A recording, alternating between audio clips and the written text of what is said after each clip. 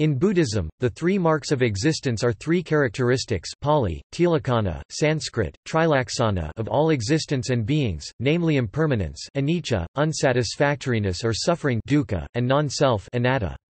These three characteristics are mentioned in verses 277, 278 and 279 of the Dhammapada. That humans are subject to delusion about the three marks, that this delusion results in suffering, and that removal of that delusion results in the end of suffering, is a central theme in the Buddhist Four Noble Truths and Noble Eightfold Path. Description The three marks are Sab Sankhara Anicca. All sankharas conditioned things are impermanent. Sab Sankhara Dukkha. All sankharas are unsatisfactory. Sab Dhamma Anatta. All dharmas conditioned or unconditioned things are not self. Topic. Explanation Topic. Anicca Impermanence Pali anicca, Sanskrit anitya means that all conditioned things sankhara are in a constant state of flux. Buddhism states that all physical and mental events come into being and dissolve. Human life embodies this flux in the aging process, the cycle of repeated birth and death samsara, nothing lasts, and everything decays. This is applicable to all beings and their environs, including beings who are reborn in Deva God and Naraka hell realms. This is in contrast to nirvana, the reality that is nicca, or knows no change, decay or death. Dukkha Dukkha Sanskrit means unsatisfactoriness, suffering, pain.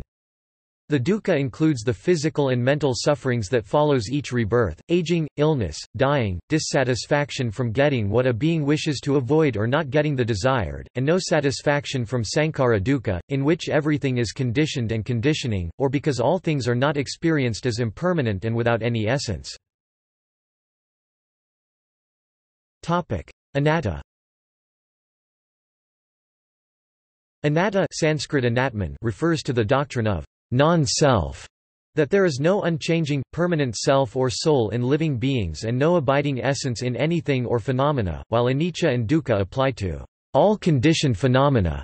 Sankhara, anatta has a wider scope because it applies to all dhamma without conditioned, unconditioned qualification. Thus, nirvana too is a state of without self, or anatta. The phrase, sab dhamma anatta, includes within its scope each skandha aggregate, heap that compose any being, and the belief, I am, is a mark of conceit which must be destroyed to end all dukkha.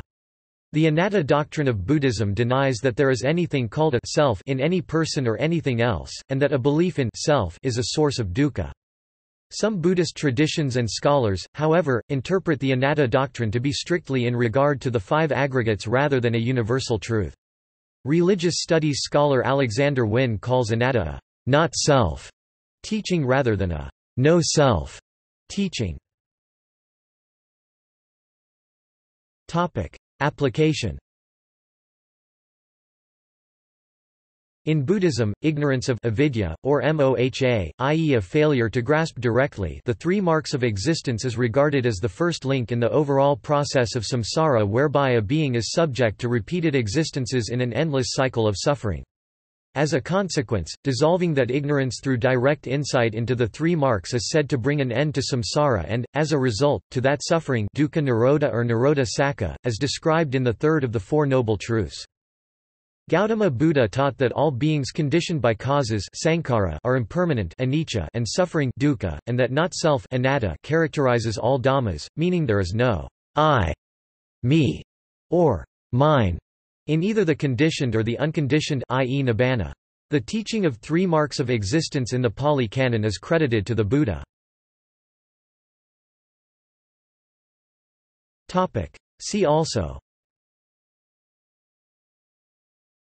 Atman Buddhism. Four Dharma seals. Index of Buddhism-related articles. Pyrrho. Secular Buddhism. Topic. References. Topic. Sources